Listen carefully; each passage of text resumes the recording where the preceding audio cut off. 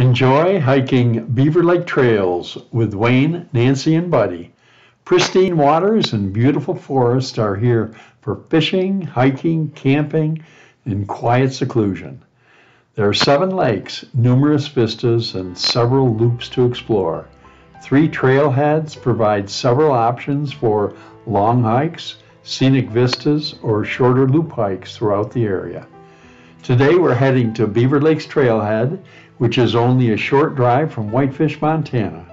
Take Highway 93 north toward Eureka for 7.2 miles.